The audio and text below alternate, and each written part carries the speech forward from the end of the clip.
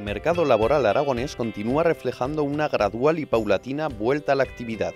Durante el mes de julio el número de desempleados descendió en 675 personas, siendo el tercer mes consecutivo de caídas tras el fuerte aumento de marzo y abril.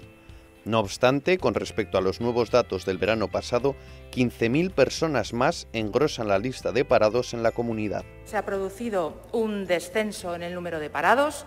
En Aragón, concretamente en términos absolutos, este descenso corresponde a 675 personas menos en el paro respecto al anterior mes de junio y esto supone un 0,88% mensual. Las tres provincias aragonesas son las que han visto disminuir el paro, en concreto en la provincia de Huesca ha disminuido en 228 personas, eh, muy similar a la del mes anterior esta bajada. En la provincia de Teruel la cifra de bajada del paro corresponde a 103 personas y en la de Zaragoza a 344. Las tres provincias han visto reducido su número de desempleados en el mes de julio. Por sectores, los servicios protagonizan el mayor descenso, con 1.600 personas menos que en el mes anterior. No obstante, la agricultura y los parados sin empleo anterior suman casi 900 desempleados.